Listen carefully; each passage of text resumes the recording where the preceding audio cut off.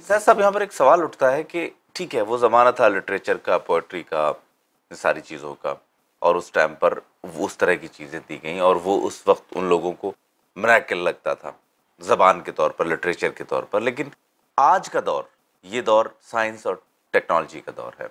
इसमें वो कहाँ, एज ए मराकल फिट होता है कुरान? कुरान हर ज़माने और हर दौर के लिए है। ज़माने चेंज होंगे लेकिन इसका मराकुलस नेचर इंसानों के देखने के लिए हमेशा बाकी रहेगा।